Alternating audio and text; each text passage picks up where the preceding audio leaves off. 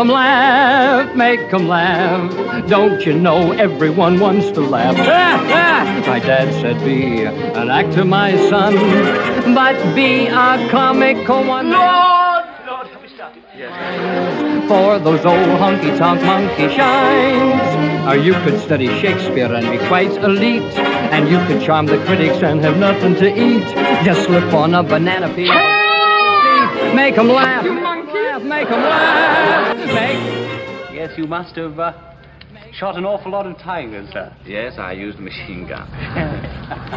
My grandpa said go out and tell 'em a joke, but give it plenty of make 'em scream.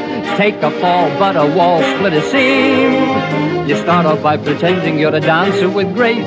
You wiggle till they're giggling all over the place. And then you get a great big custard pie in the face. Make 'em laugh, make 'em laugh, make 'em laugh.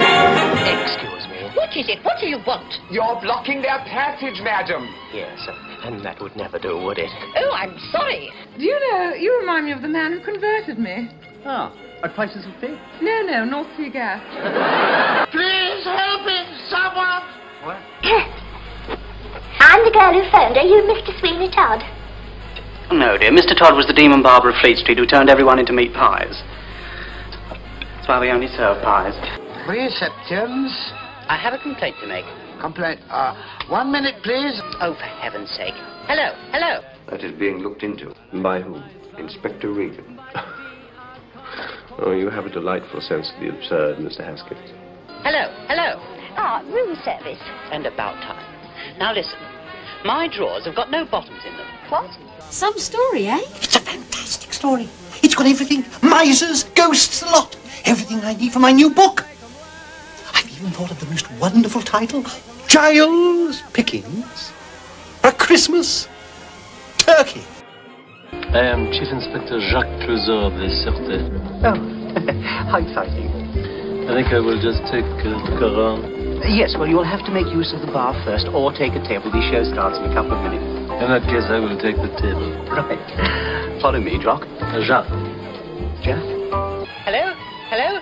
I've just found there's no back to my wardrobe. What? What? Who is that? Is that, is that room service? Room service? Regan is a violent man. He has a reputation, even amongst his fellow officers. Inspector Regan is one of the best officers in the squad. Regan isn't the only one. How many times have you seen suspects carried from the interview room? For those old honky-tonk monkey shines. One day, Mr. Rigsby, you may hear the voice of the Lord. he has spoken. What's a street board?